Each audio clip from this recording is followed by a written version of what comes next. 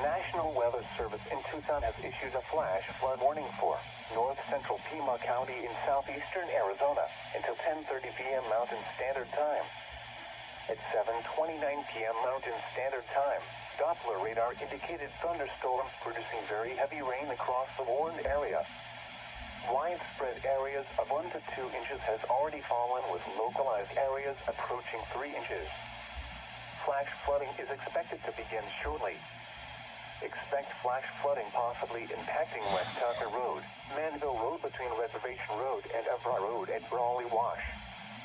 Also, New York low water crossings along Brawley Wash and Blanco Wash could experience flash flooding. Additional rainfall amounts of greater than one inch are possible in the warned area. Turn around. Don't drown when encountering flooded roads. Most flood deaths occur in vehicles. Especially cautious at night when it is harder to recognize the dangers of flooding.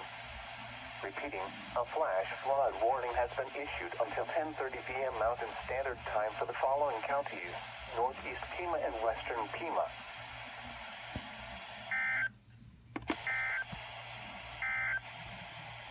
You're listening to NOAA Web.